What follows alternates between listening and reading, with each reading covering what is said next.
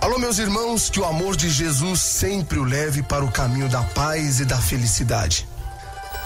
Quando a gente cai, quando a gente bate a cabeça, é que nos damos conta de que estamos longe do Senhor.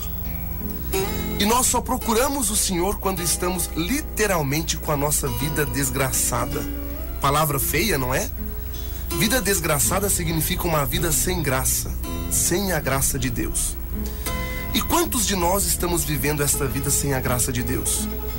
Eu sei que você neste momento está aí clamando, Padre, Deus precisa fazer alguma coisa nova na minha vida. Deus precisa me ajudar. Não dá mais, não consigo mais. Meu irmão tem uma vida íntima com Deus. Nós sabemos exatamente o que queremos e o que não queremos. Deus nos deu a liberdade, e eu já disse, quando alguém dá liberdade a outra pessoa, é porque ama. Quem ama, confia, acredita. A liberdade é o maior sinal do amor de Deus para conosco.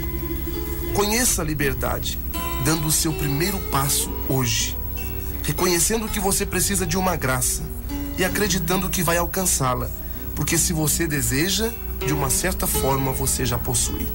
Lembre-se, que é que eu sou sem Jesus? Nada, nada, nada.